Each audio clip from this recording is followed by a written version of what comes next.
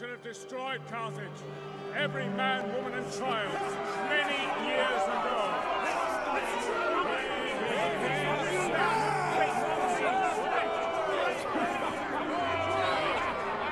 Enough! Saguntum is lost, and our Western allies have failed us. Where was the last report of his whereabouts? My spies in Iberia tell me his fleet has sailed. We must expect an invasion at Massalia!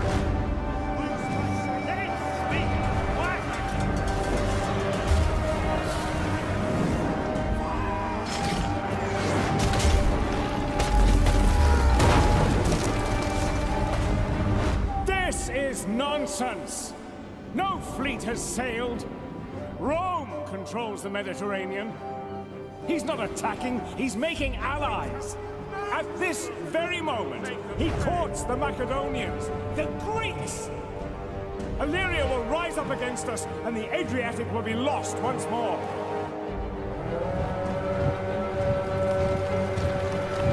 Ridiculous! Epirus won't stand for it. Our legions have sole military access to their land. I believe the attack will come from Africa itself. He intends to cross the Mediterranean and invade from Sicily. Syracuse will revolt and sweep up from the south. That's wild speculation. We cannot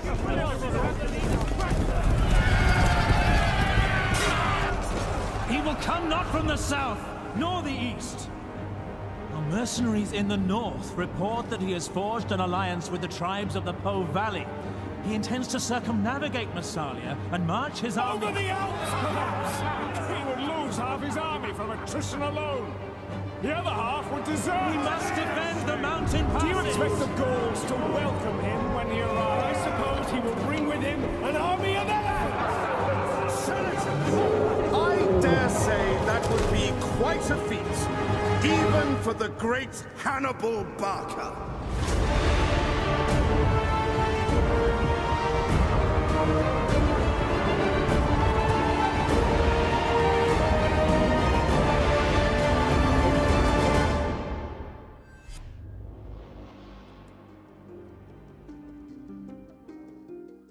Chào mọi người, chào mừng người đã tới với cả PC Gaming Hôm nay thì mình sẽ hướng dẫn các bạn download và cài đặt cái totem War ROM 2 được chưa nào? Và trước đó thì mình đã giới thiệu các bạn phần ờ, Shogun 2 cũng như là phần Attila rồi. Rất là hay đúng không nào? Bây giờ thì ờ, chúng ta sẽ tiến hành ờ, download và cài đặt ROM 2 nhé Thì các bạn hãy nhìn xuống phần mô tả bên dưới video. Mình có để hai link, một file game và một file codec. Chưa nào? Codec codec thì quá quen thuộc rồi. Mình sẽ mở file game bên trước. Ở đây mình sẽ phải setup nhé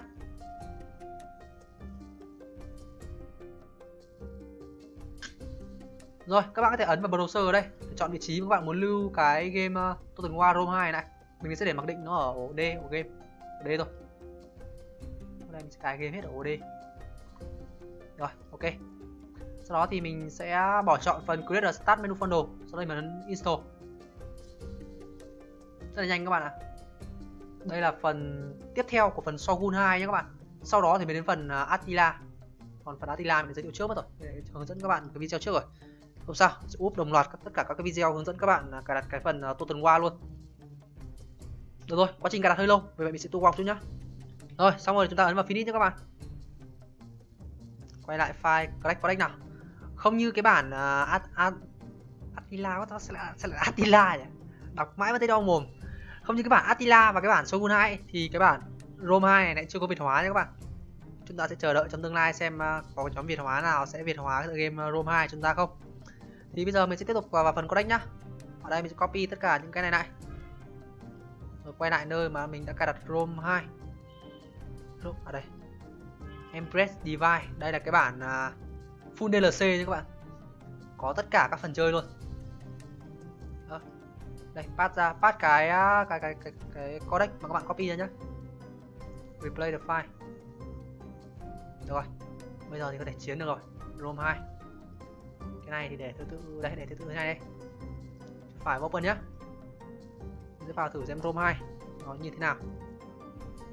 Được test xem cái bản crack chạy có ngon lành không. Vào game luôn này các bạn ơi.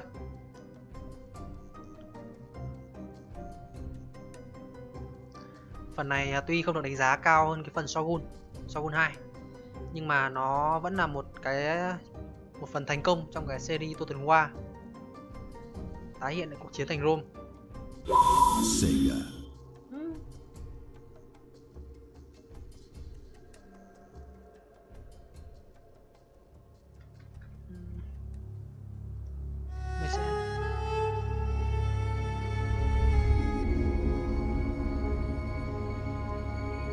âm thanh và hình ảnh là từ từ cái phần ROM uh, Shogun 2 ấy, thì luôn là một trong những điểm cộng của cái series Total War này đặc biệt là mình cực thích cái phần âm thanh của cái series Total War này các bạn ạ nhạc nghe nó rất phù hợp với cả bối cảnh mà tựa game xây dựng.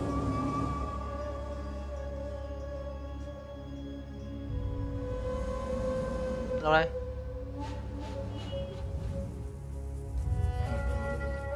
Đây. Phần hình ảnh của nó được đầu tư chăm chút. Đẹp hơn các phần Shogun luôn đấy. Càng về sau thì công nghệ càng phát triển, cho nên là hình ảnh của từng phần game nó phát triển lên thì cũng là điều đương nhiên, dễ hiểu. Uh. ôi da. Gì đấy ui. Ui. Con này là con ai cập à? Có cả voi này. Ui. Rồi hạ được voi luôn. Thủy chiến. Ui. Banh thuyền.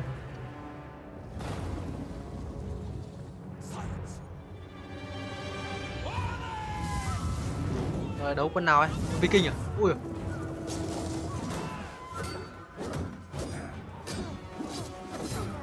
ui, căng nhỉ? Ui.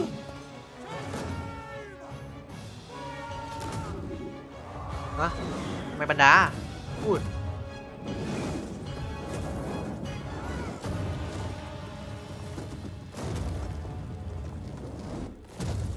Sập luôn cả thành chờ đấy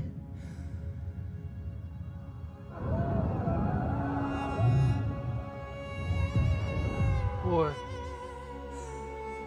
Thua trận à?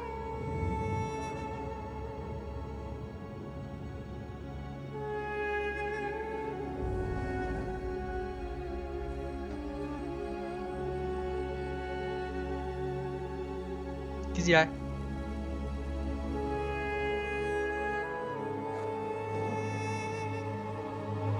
Nhiên này vẽ mắt luôn à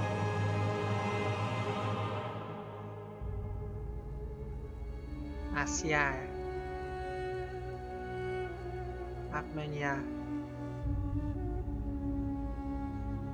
Rồi, đó là một vài chi tiết hình ảnh à, cũng như là intro của tựa game à, Rome 2 hình ảnh thì có thể nói là thua một phần so với cả cái Attila, đúng không nào? Attila phần ra sau nên là thua điều đương nhiên rồi. Tuy rằng ở đây không còn cái, ơ theo mình thấy ấy, thì cái phần à, cái phần giao diện này nó khá là giống với cả Attila các bạn ạ.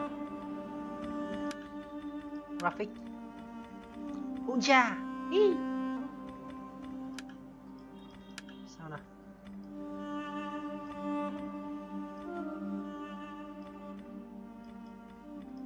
Ok chúng ta sẽ vào thử phần game nhé Grand Company à đây là mấy cái phần đấy này các bạn. Mấy cái phần DLC này phần mở rộng ấy các bạn có thể ờ, vào chơi. Cái bản ờ, cái bản ờ, uh, Emvirus Edition ấy như là nó full DLC đấy. Là bản cuối cùng luôn đấy. Chúng ta có có tất cả các phần chơi luôn.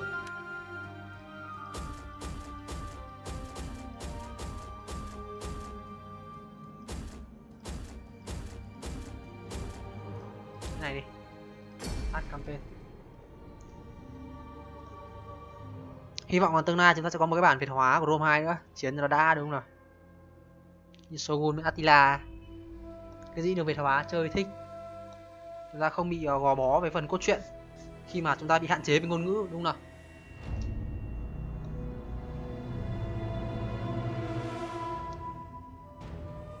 Emperor Edition tuần hoa Rome 2 bối cảnh đương nhiên rồi. Thời trung cổ ờ, thời kỳ của Rome và thành Troy các thứ. Để tăng thêm phần, có thể nói là kích thích khi chơi tựa game này thì các bạn có thể xem cái cuộc chiến thành Troy đúng không nào? Là cuộc chiến thành Rome, các thứ. Xem phải tạo thêm, chúng ta thêm nhiều cảm giác hơn nữa khi chơi game. Cảm giác là được hòa nhập vào cuộc chiến ờ, thực sự đó vậy. Phần này là phần được ờ, thiên về rất nhiều về cái phần lối chiến đấu các bạn. Thậm chí nó được ờ, coi là quá thiên về chiến đấu luôn nên là chắc chắn là cái phần uh, chiến trận trong tựa game này sẽ rất là cuốn hút.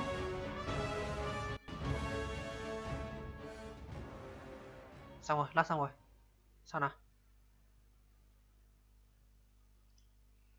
À, đưa ra. Đợi tí nhé các bạn. Nhà tắt rồi nhưng mà đã treo ở đây luôn. À đây. For centuries, your people have prospered on these strange and thôi nói nhiều quá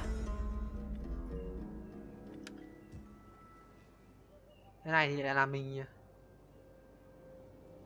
đúng rồi. Đây có lẽ thành trì của chúng ta các bạn ạ. thôi. Đây là gì? Đồng minh à? Hay gì vậy? Em ơi. Bật bản đồ lên. Bật toàn bộ bản đồ. Nhiệm vụ chúng ta sẽ là xâm chiếm tất cả các vùng đất này. Thiết lập đồng minh xây dựng quân đội kiểm soát từng vùng đất một vẫn là WASD à gì vậy? This tab enables you to research the technology that will give you an advantage over your rivals. không có Việt hóa cho nên cảm giác chơi nó khó hẳn các bạn ạ thôi nói có hiểu đâu mà nghe Ừm. nâng cấp à đồ đâu mà nâng cấp rồi lên đời hai This this tab agents are recruited directly from a province via the recruitment tab on the review panel. Recruitment is instant. The faction summary tab gathers together essential statistics and information, enabling you to check the status of your campaign at a glance. Ah, The road system within a region will improve its không đi nữa chạy nhiều quá hết cái thanh rồi Better quality roads increase the movement range of the armies and agents who use them, as well as the line of sight from both the road and the nearest settlement. They all spies are subterfuge experts, recruited via the hire agents button when a settlement is selected. They can be recruited anywhere in your empire and are invisible to the enemy until detected. Spies are vulnerable to champions and exceptionally effective against dignitaries. I will see it done. How may I serve you? Gì vậy? I Bản đồ bán hàng rồi đấy. apologize for my failure.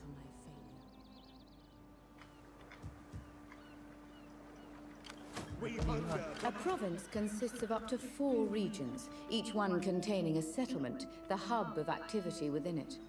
One of these is always the provincial capital, a major walled settlement, whilst the remainder are mi- nói nhiều quá enter cái cơ chế này thì mình đã nói ở cái phần ờ, Shogun 2 rồi đúng không nào đây là đặc trưng của tựa game chiến thuật chúng ta sẽ chơi theo lượt nhiều nước ấy nhỉ? À? Phải ba bốn chục nước ấy. Ba bốn chục đế chế khác nhau trong cái cùng một cái bản đồ ấy. Đi tiếp rồi các bạn. Sang đất của người khác rồi. Đánh không In order to construct a proposal, double click on a faction from the list and then add diplomatic options by clicking on the Chưa add tới được. offer Cách một đoạn nữa mới tới được các bạn ạ. and selecting đến ngày hôm sau rồi. The proposed deal will take shape on the negotiation table.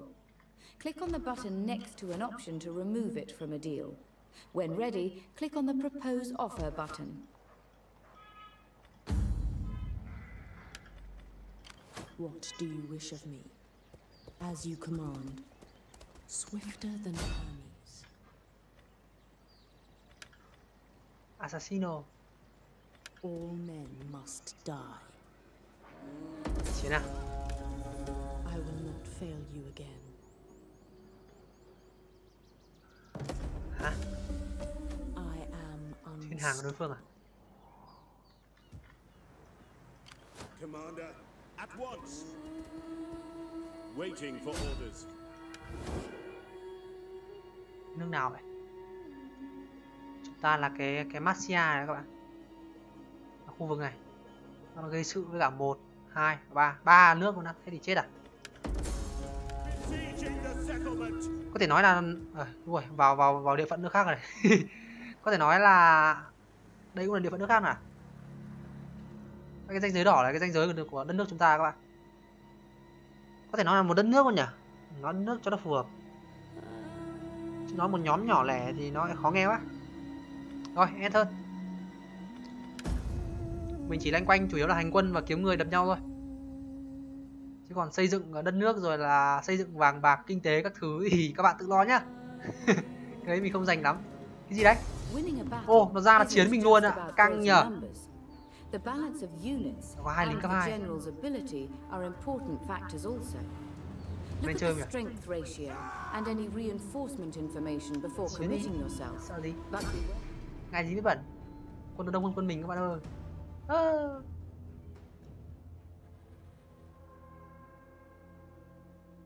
Trận chiến Liguria năm 2271 trước công nguyên à? Thử một trận thế nào? Thua thôi đúng không? Xây dựng lại quân đội không?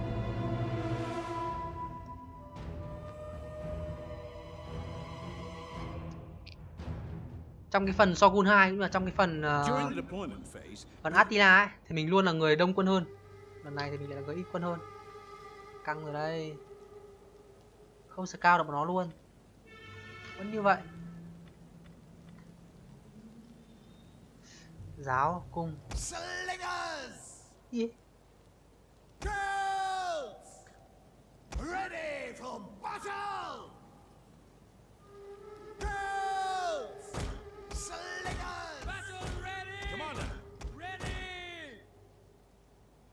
ok ready Take time to explore the battle user. mình có tất cả năm cánh quân.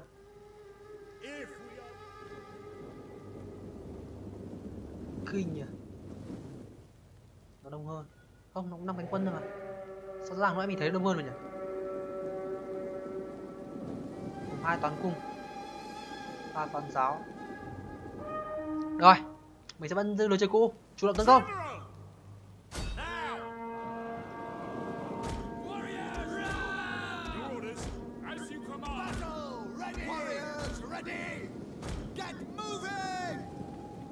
đánh đó là cộng kìm quen thuộc của mình. Chủ yếu mình sẽ tiêu diệt đám đám đám đám đám đám đám cung tên này, này. Cái đám này là cái đám gây ra nhiều sự phiền nhiễu nhất trong cái tựa game này.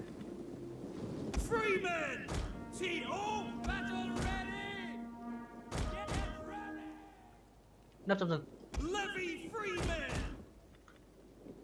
Đám này sẽ đám hy sinh chủ lực đây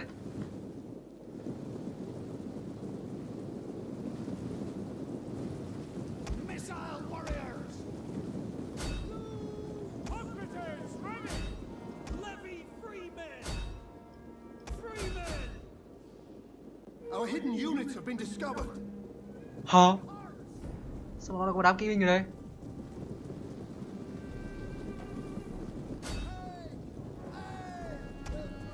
Thôi back up, back up, back up, back up, back up, back up, back up. The men are wavering. Our general is under attack. Ôi, sao nó đông thế nhỉ? Giờ nó mới mất lò mặt ra, nó núp trong rừng ạ. Ôi, xong em rồi.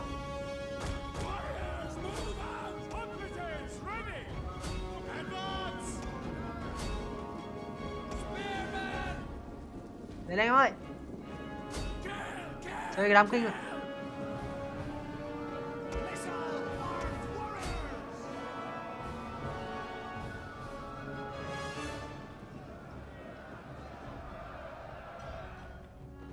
Hỗn loạn quá. À, nó đuổi, nó đuổi, nó đuổi. Chết ơi. Our men flee the Ôi, field. trận này thua rồi các bạn ơi đây là quân mình ít quá. Ừ. Đám quân cung của mình toang rồi. Không hỗ trợ được cho đám kỵ binh. Kỵ binh thì nó làm thịt rồi.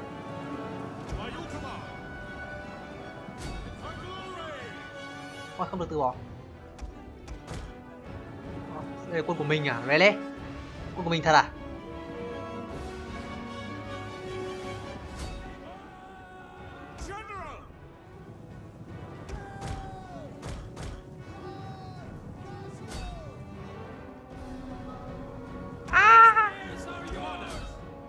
Cứu giá cứu giá cứu giá chạy chạy chạy chạy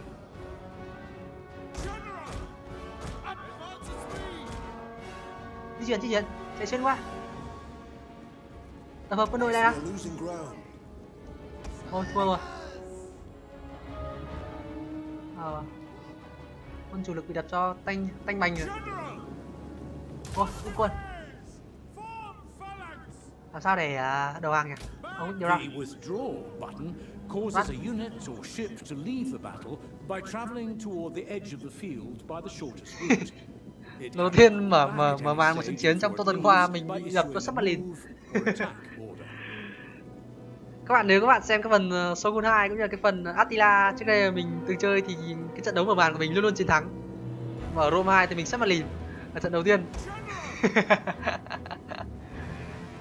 Nhỏ thật chứ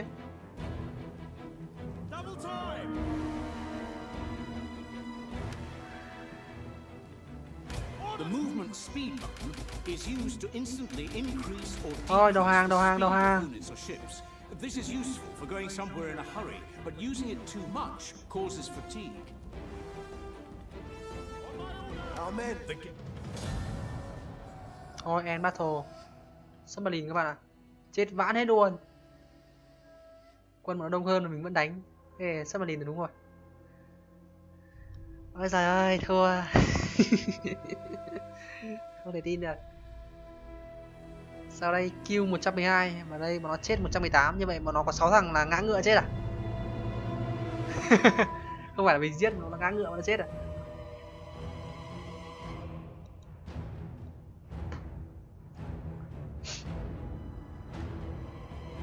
Rồi, có lẽ cũng dừng ở đây luôn. Thế bốn bao nhỉ? Loát lâu quá. Phần này loan lâu lâu, cảm giác như là tăng thêm cái phần sỉ nhục cho cái trận thua vừa rồi của mình ấy. Anh sẽ xây dựng quân đội và anh sẽ quay lại báo thù chú sau. Chú cứ đợi đấy.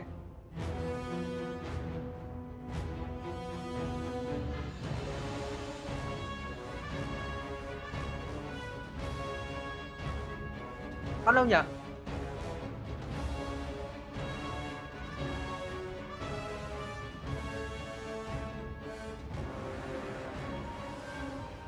Deploy. 540 quân. 540 quân. Thua tanh bành. Mà nó có hai cánh kỵ binh giấu thôi. Ui ui ui ui. Thôi đi về đi về đi về. thua rồi đi về. Ô A mày sang đây luôn á Chết rồi. a faction can field a maximum of Làm sao mà 40 chiến? units at one time across two armies. làm sao để hoãn chiến nhỉ The order in which reinforcements take to the battlefield can be determined by left clicking and dragging units into the order of your choice. The unit on the far left being the first to take to the field. submarine đây rồi. Nó lại về à? mày cứ đợi đấy. Rồi tao sẽ trả thù. Lại một chiến khác các bạn ơi. Quân đầu này thì mình đông hơn mà. Nhưng mà thế thì sẽ thắng thôi. Có lẽ sẽ thắng đơn giản thôi vừa qua trận chỉ như vậy.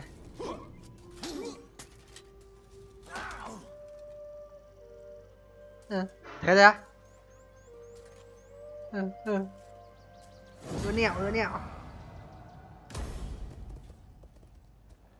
Có đuổi lên là gì nó không nhỉ? Báo thù cho anh em của chúng ta. Ờ, Ở tiến tuyến khác. Rồi đó là một phần lối chơi của tựa game đó là Total War Rome 2 xem nào. Giờ thì mình sẽ ATM 4 như vậy là mình đã hoàn thành video hướng dẫn các bạn download và cài đặt tựa game uh, Total War Rome 2 rồi. Sắp tới thì mình sẽ giới thiệu thêm một vài cái phiên bản nữa của series Total War. Bây giờ thì sẽ dừng lại đây thôi nhá. Uh, chúc các bạn download thành công và chơi vui vẻ. Các bạn nhớ subscribe channel cũng như là like fanpage Facebook để cập nhật những cái game mới nhất mà mình chia sẻ nhé tạm biệt các bạn.